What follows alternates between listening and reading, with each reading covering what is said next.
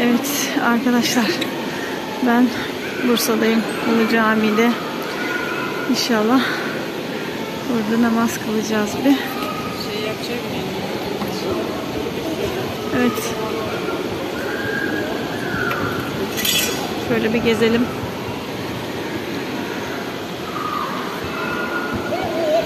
Bu gördüğünüz ortadaki şadırvanın olduğu yerde cami yapılacağı zaman eee, ev varmış. Yıldırım Beyazıt bu cami alanını almak istemiş. Evi de almak istemiş ama ev sahibi kabul etmemiş, vermiş. Caminin yarısını yapmışlar. Bir kısmını sonradan eee, ev sahibi kadın ölünce çocuklarından alıyorlar. Buraya da camiye ekliyorlar.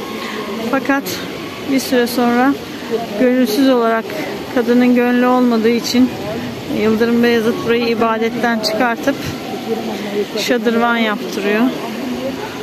Buranın da böyle bir hikayesi varmış. Bakalım.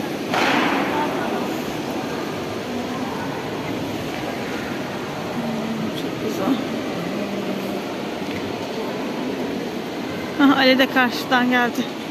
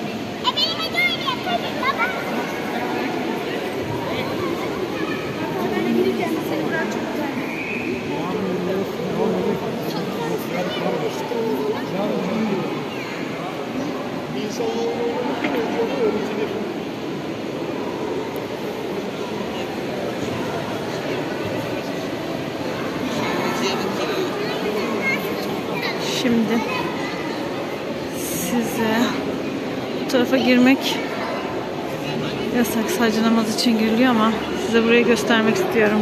Bu Kabe'nin örtüsü.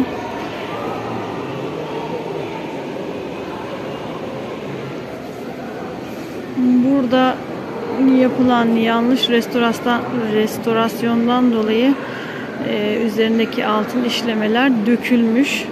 Fakat sonradan tekrardan e, onarımı yapılıp buraya asılmış. Karşısında namaz kılıyorlar. İnşallah bize de kısmet olur. Kabe'ye gidip namaz kılıyorlar.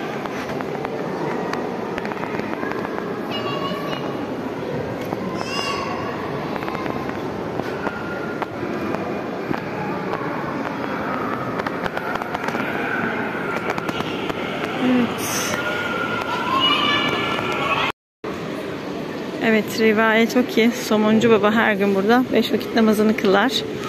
Ve bir gün geldiğinde karşısında Hızır'ı görür. Hızır Aleyhisselam'ı görür. Ee, onunla konuşur ama Hızır Aleyhisselam bunu kimseye söylememesini ister. Somuncu Baba da bir şartla söylemeyeceğim. Fakat e, her gün gelip burada bir vakit namaz kılacaksın diyor. Hızır bunu kabul eder ama hangi vakit olduğunu söylemez. Kimse bilmeyecekler. Onun için burada bu vav bunun altında gelip herkes e, dua ediyor Hızır'a denk gelebilmek için. Evet Ulu Cami Bursa'da dünyadaki yeryüzündeki beş kutsal mekandan bir tanesi. Derler ki burada edilen bütün dualar kabul olunur. Çünkü Yıldırım Beyazıt bir sabah namazına geldiğinde Peygamber Efendimiz sallallahu aleyhi ve sellemi ve dört halifeyi burada namaz kılarken görmüş. Onun için e, buranın kutsal mekan olduğu, burada edilen bütün duaların kabul olduğu söylenir. Biz de şimdi namazımızı kılıp duamızı yapacağız. İnşallah Mevlam kabul edilen dualardan eyler bizimkini de. Dinliyoruz Ümit senden. 1930'larda tam tarihini bilmiyorum. Ulu Cami yıkıldığında e, gayrimüslimler de caminin tadilatı için yardımda bağışta bulunmuşlar. Ama demişler ki bizim de bir e, belirlediğimiz bir şey olsun. Bizim ismimizi taşıyacak falan. Ondan sonra şu şeylerde bakın haç şeklindedir kafesler, yeşil kafesler. Normal yapılarda sol, soldan bakalım. Bu şekilde yanaştırın biraz. Klasik Osmanlı'daki kullanılan demir sistemi bu şekildedir ama gayrimüslimlerin de varlığı belli olsun diye o şekilde yapılır. Evet, ben biraz yakından çekeyim orayı tekrar.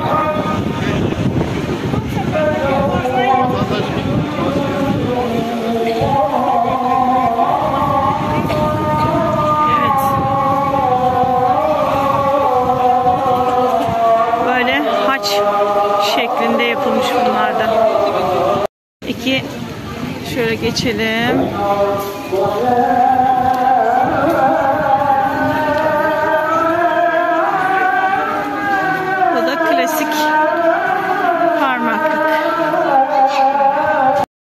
Evet Ulu Cami'den çıktık. Şimdi Kozahan'a geldik. Kozahan 2. Yıldırım Beyazıt tarafından İstanbul'daki cami ve medreselere destek sağlamak için yapılmış bir İpek yolu.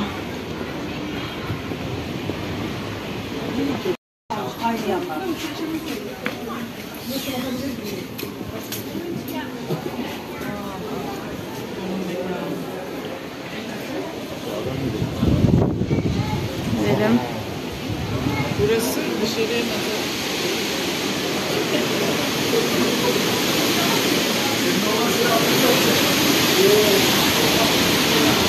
Evet bir fırtına var.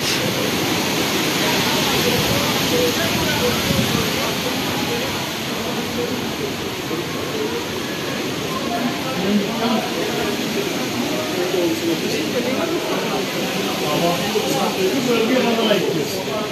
sokak bizim sokak zaten.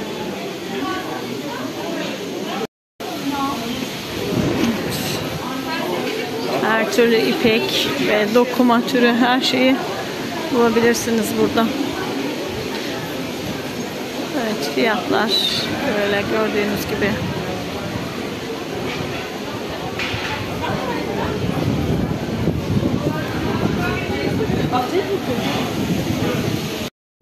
Evet Bursa'da. Panorama Müzesi'ndeyiz.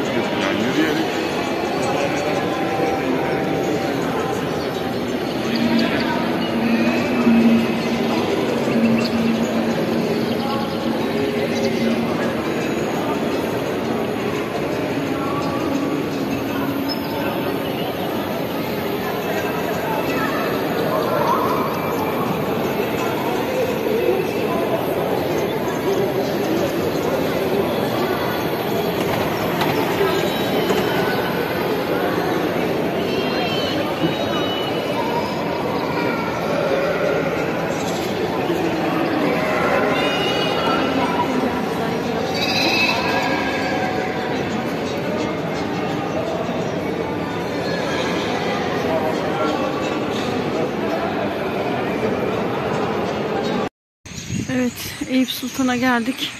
İnşallah İçeriye girip dua edeceğiz. Bizim de dualarımız kabul olur ama. Şimdi içeriye giriyoruz.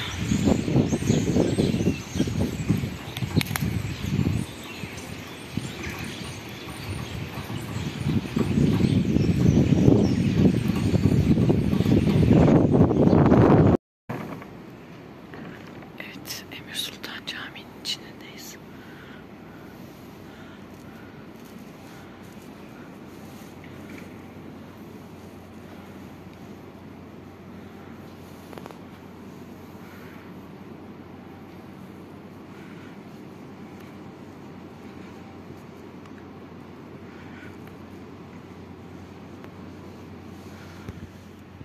Sıkıntı.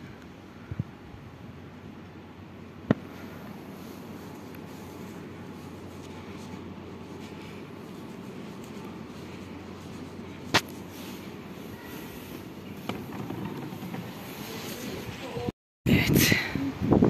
Sultan Mehmet Çelebi'nin Yeşil Türbe'ye geldik yaptırmış oldu.